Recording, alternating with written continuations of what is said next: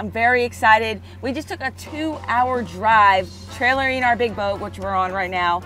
We're at Key Largo, Pennekamp Park, Florida Keys. Florida Keys. Yeah, yes, Key Largo excited. is the first key of the Florida Keys.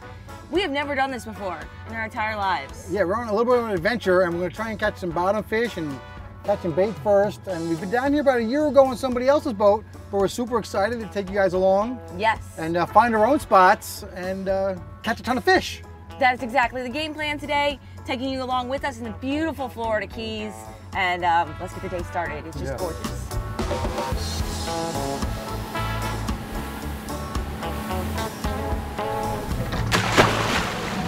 Check it out, guys. We're using our ballyhoo, looking for ballyhoo, but we're also catching fresh speedos. This is like the best mutton snapper bait. Oh my gosh.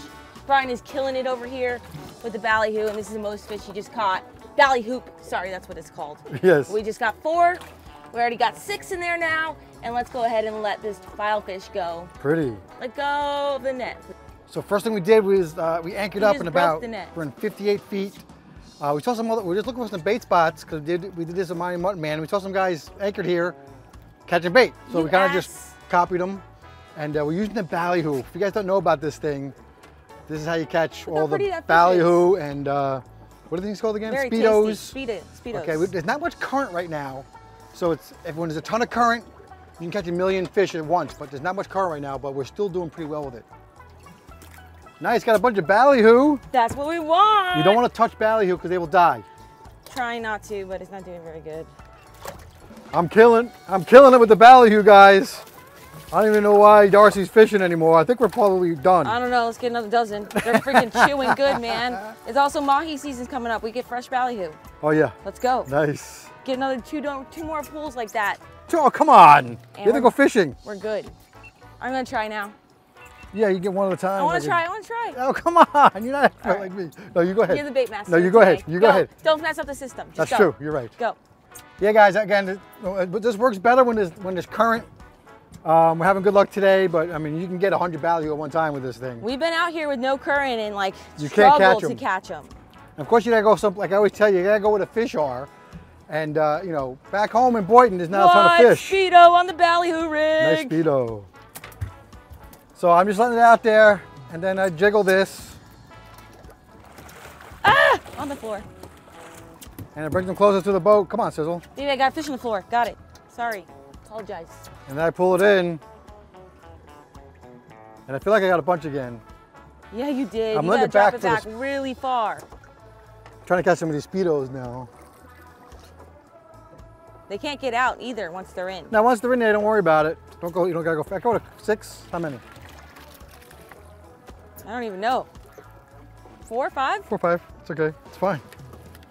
All right, let's see how Darcy does. The master baiter. She's mad at me catching all the bait.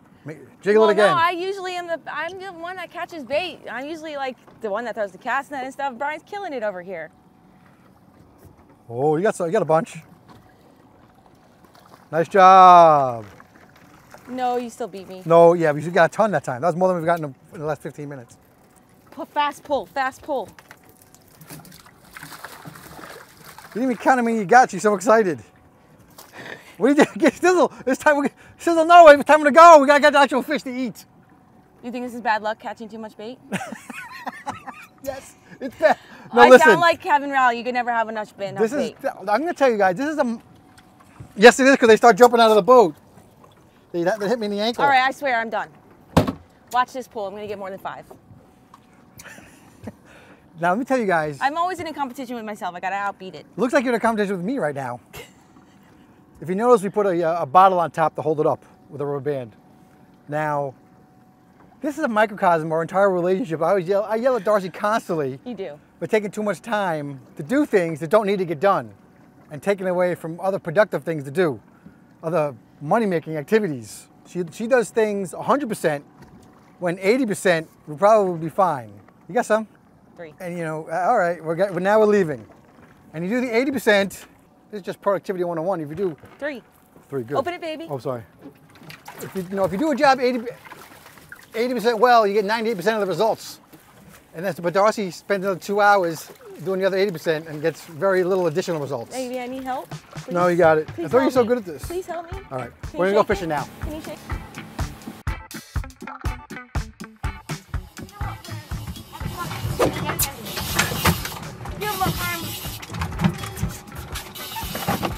Oh just watch that fish double over.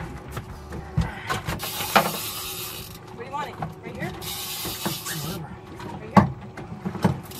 Yeah. Good? Yes. Was it? Was it? Yeah. Give me that, give me that, give me that, I got it. I got it. Oh yeah, give me the paper. Oh my god! Get him in the boat. Don't let the sharks eat him. Brian, what? God, we just got the first black grouper ever on our boat in 12 years of fishing. Brian just crushed that freaking beautiful black. Can't believe it. What the hell? We were just talking about Justin, our buddy Justin, that we fish with all the time. And I was like, wait a second, I think that grouper rod is getting a bite. And Brian was getting rigged up. And I'm like, watch that rod, watch that rod. Brian saw it jump. Actually dived down on that rod, which is our Wahoo setup. And you have to immediately crank on a grouper. Look at that beautiful black. Oh my God. That is the sickest thing ever. Dude, so worth it coming down here. First bite of the day, black grouper. Ryan gaffed it. I just levered that beautiful fish up. Look at this fish, guys. Hold on, boat coming by. Boat coming by. Divers. What if divers come by? That's a 24 all day. Oh yeah, at least. 24 to keep. Look at that circle hook right in the corner of the mouth. Came up and ate that freaking live, that dead speedo we caught Hold this other way. morning. Yeah, hold them the other way around. Pretty incredible. He's all wrapped up. All right, all right. Let's just get the hooks All right, out. one second. Wait for this dive boat to go by so I don't see our fish. Beautiful. Get over there in the sun a little more. fish. Look at that. That is just amazing. Look at that classic bloom tail with the white tips. So sick. This fish is absolutely delicious. I mean, I've only had it one other time, but look at those gorgeous dots on them. Just a beautiful specimen right there.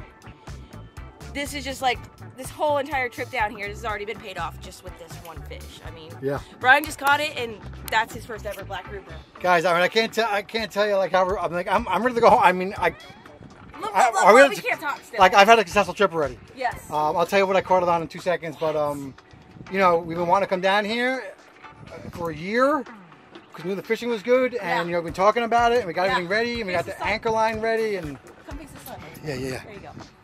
and all that great stuff, and uh, you know, I- you just don't catch.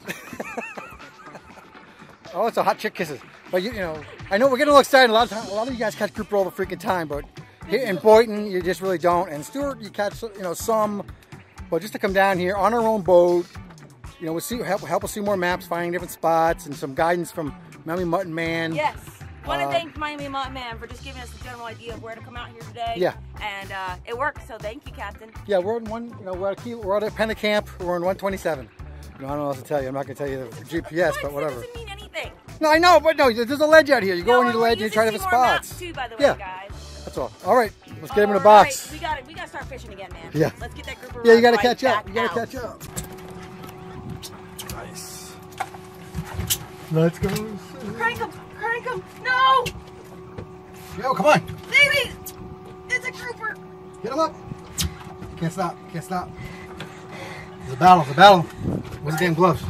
Get the gloves in my bag! Tackle bag! I got it. Can't stop. Ryan, I'm trying. Oh my god! Just yank me on the boat!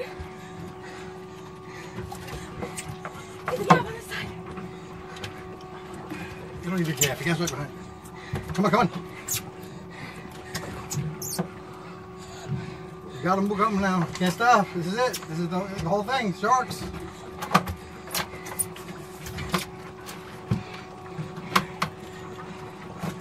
You got them, baby.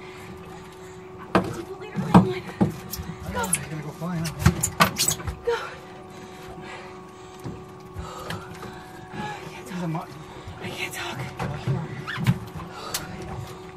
flying back down the water. But, oh my god! Woo! Oh my god! Hold on, I got him, I got him. Here, maybe. Oh my god! What? Look at that fish! Look at that fish! that's a fish. That's a. Oh my god. I have to weigh that fish right now. Dude! Dude! That's a monster! Dude! That is a monster! Dude, that is a lunker! Bro, I thought that was a grouper. He Hold it up, hold it, you gotta hold it up. I gotta hold it thing up. me- He yanked me so Is hard. that the biggest mutton you ever caught? ever, ever, ever, ever. That's all day of 15, maybe 17 pound mutton. That is a trophy mutton of a Pick 'em up, pick 'em lifetime up. right there. Oh my god. Oh my god. Look at the freaking belly Hold 'em up, hold fish, up. y'all. Guys, I just whooped that snapper's butt. Hold it, hold it vertical. Hold it vertical. Look how he's Stand wet back. as me. He's wet as my belly. Darcy's arm is totally bent, like it's not straight. No. Look at this fish, guys. I'll take this all day over your group. I'm ready right to now. go home. Oh my god! Circle hook right in the corner of the mouth. I watched him just double that over. Ate that live ballyhoo on the bottom. You have a scale? Incredible fish, I do. Oh my god. Incredible fish. This is a trophy fish. This is what people come down here to the Florida Keys for. That's a fish. That's We what you want to catch. And I just did that on my own boat, on my own combo. We're using a Miami Mutton Rod Gaff and Miami Mutton Man, Rod. Miami Mutton Man, Rod and gaff. Miami Mutton Man Rod and Gaff today. So that's what, you know, just all this time and effort we put on the water. Truly incredible. Let's weigh this fish. Yeah, I'll say he's 16. Yeah. Wow. Nice. Wow, wow, wow. So beautiful. I mean, we already topped it off with that beautiful grouper, but now my biggest personal best mutton snapper and Brian's personal best grouper. I mean, I don't know how much more we're gonna get today. We can just go home. This is amazing. No, we gotta drop again. This is our first spot. Hold on, I just watched a grouper rod. We got someone that's parked on our anchor line, and my line went off at that time. Oh my God, wait till you see what's in this freaker's mouth. So this is a normal eight pound mutton, just whipped his butt. Sorry, we didn't have the audio on there. Got all these cameras we going. just we, had- we hadn't caught a fish in a while. We had some tangles from a kingfish, and Yeah, we talked about move, moving actually. yes. And then uh, Come on, I just it messed up. up. but I got the footage on the other cameras. Do you see that wild crab in his mouth? No, get him out. We gotta send this down to back down. Yeah, yeah. If I can get him to open. That's like a nice eight, eight pounder right there. That's an eight. All right. Circle Oh, you had a ballyhoo? Live ballyhoo. That's what these muttons are all about, I guess. Crushed up crabs from the, from the reef. Hold them low, so I can see. Hurry up before they get here. Nice and low. There he is, guys. Right. Beautiful fish. I will take it all day. All day, baby. Okay, I can't hold him. you guys get it. There, he puked it up. Oh yeah, There it is. nice things. Can't use it. Believe when I see it. Playing with it. At least someone's playing with something. There he is. Really? Yeah. Oh, good. Did I just pull him off?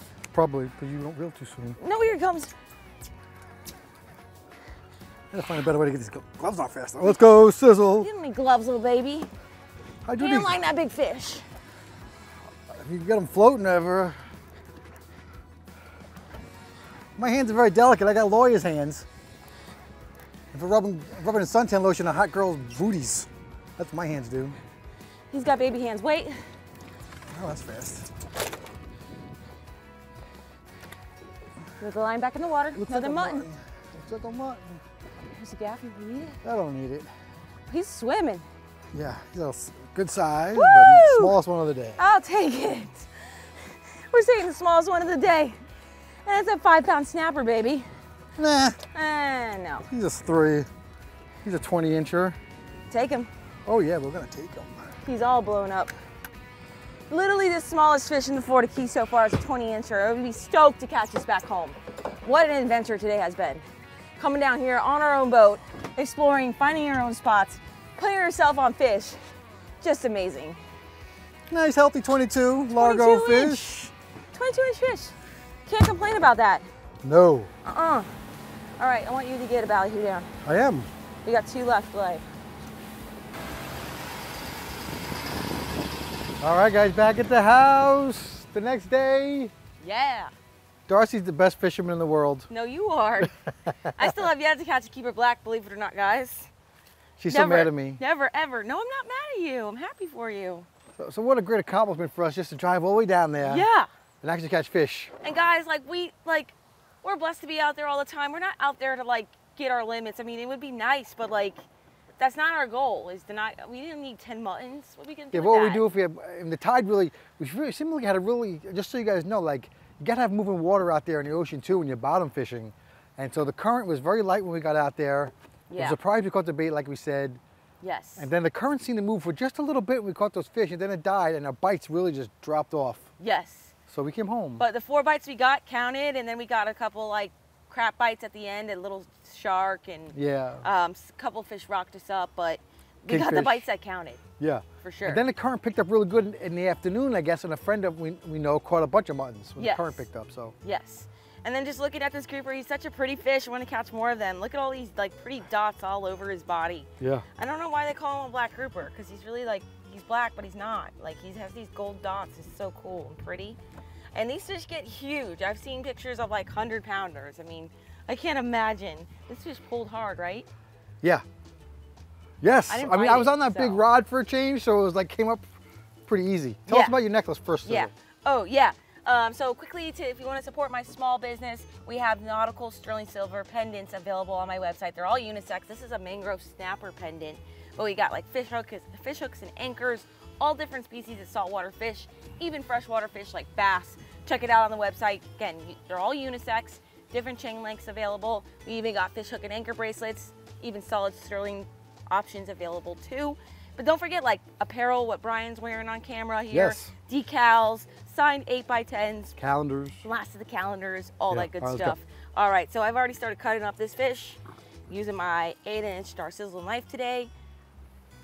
This is the first black grouper I'm ever gonna fillet. I'm going way up into his head. Really? Yeah, I've never caught one. Never caught, never caught a keeper. We've caught gags. I don't pay attention.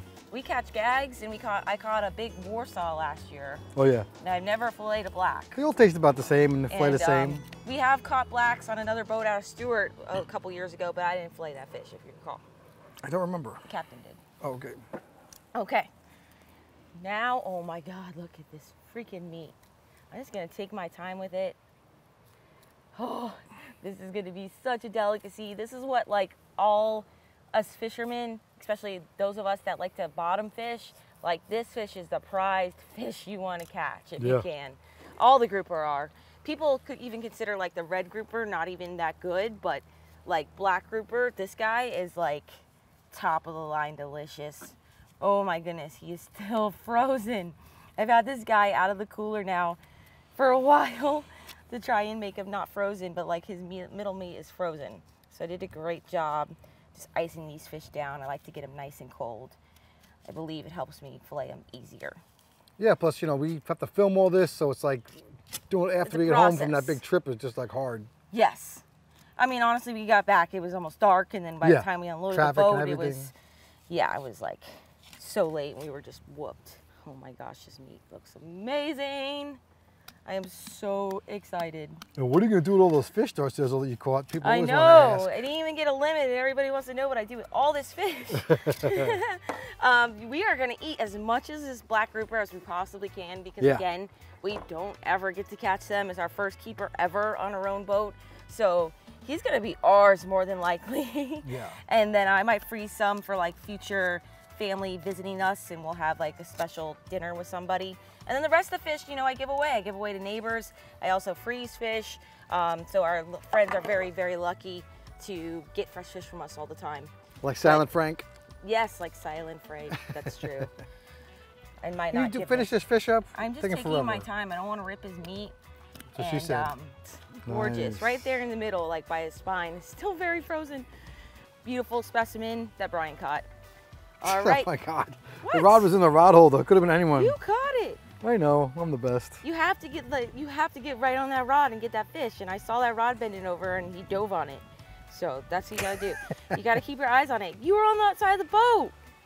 Oh my gosh, I'm not complaining. Jeez, I caught my personal best mutton. I really can't complain about that because I love mutton and I love the way they fight, and they're just one of my favorite fish. All right, so now we're slabbing them down. Nice, nice. He likes like two and a half, three pounds of meat right here. Look at that. Beautiful. Oh, so pretty. No bloodline at all. There's nothing to do on this fish at all. Look at that. Nice job, Sizzle. That is what I'm talking about. We are going to be eating like kings tonight. Totally blessed. And I just want to thank all my sponsors for supporting us and allowing us to go on awesome adventures like this. It is just amazing. And we're so blessed. But I'm taking out a little bit of pin bones here. And that's about it. Gonna All make right. sure I get his cheek meat. You guys make sure you follow me on social media if you want to see the trick on how to get cheek meat out. Yes, we're gonna post the cheek videos on Facebook. Correct. So check those out. Follow her on Instagram, TikTok, Twitter, all that stuff. But uh, all right, well, I'm- I'm gonna meet you in the house Yeah. for the cooking with Puddin section of this video. And here we are, guys. I got the fish all ready to be cooked up for you. We're gonna add a little oil to this preheated pan. All right, let me tell you what I got going on today. Caught these fish in the Keys. So we got a little bit of a Florida Keys inspired uh, recipe or meal planning going on here. And this is kind of, I stole this recipe kind of from Lazy Days down in, I think it's in Islamorada. Uh, kind of have some friends and we kind of duplicated the recipe as best we could. Uh, so I got some things already started. There's a sauce, of course, involved. Take a look over here, though, Sizzle. Now this sauce, uh, I got a little bit of B-roll too. I got some olive oil in there, and then I put some onions, softened up the onions. Then I added some garlic, and then you can bring it back up, Darcy. And then I, uh, when those got softened up nice, I added some some wine. This is the best quality wine you can get right out of a box. And right now I'm reducing that. That's almost reduced to about 50%, so almost ready to go. Uh, over here, I got the fish. I got the grouper. If you take a look over here real quick, Darcy, I got, I cut a big slab in half so the so to be equal sizes. This is my thickest piece, and then I got some smaller pieces. So uh, we're gonna put this. I guess I'll put this fat one in the middle. And I'm cooking it in oil today. I'm cooking in oil because you know you can you can bread these fish, and it, it makes a nice crunchy in contrast with the sauce I'm to be making, which is really really great. But I don't want to bread it just because the sauce is already enough. So I'm just to use a higher heat and get some crunchy edges, which is gonna give me a little texture as well. So we're gonna cook this up. All right, we're back. Get in here, Darcy. I'm gonna go over this again. We don't like the overcooked fish. Now you can see it's starting to get white on the edges. Some pieces are fatter than others, so we gotta make sure we're flipping those right away. You see you got that crunchy right there. This one too. All right. This one's gonna be last.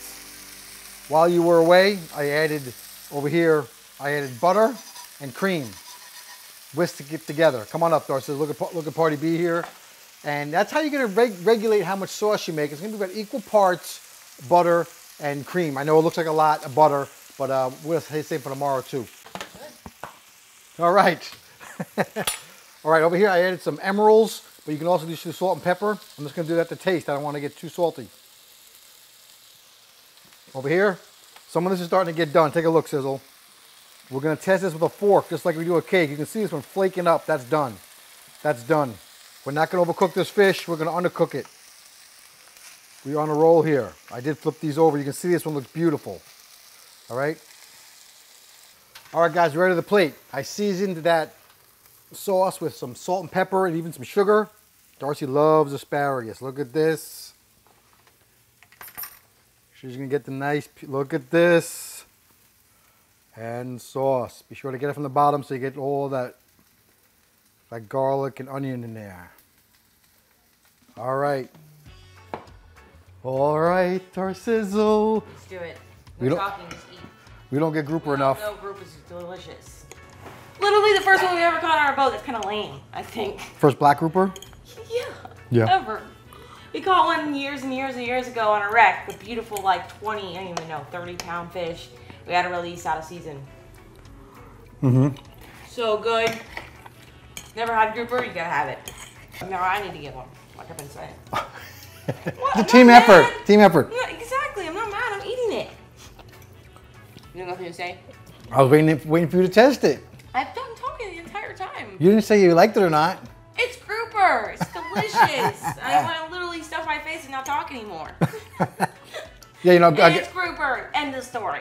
yeah, you know, a lot of the, gr- gr- a lot of like snappers can be a little bit on the soft side, like yellowtail, and then mangrove gets a little firmer, but and then mutton's delicious, and then grouper, there's like a medium white flavor that is just so good, incredible. Yeah, nothing compares to this. And the sauce is good. Mm-hmm. All right, guys, another successful day. Are we gonna sign off? I'm ready. All right. So, guys, thanks for joining us on today's adventure. Thanks for supporting us and watching this and allowing us to do things like this. So, following our dream as usual. And until our next epic adventure, follow your dream. And keep on catching.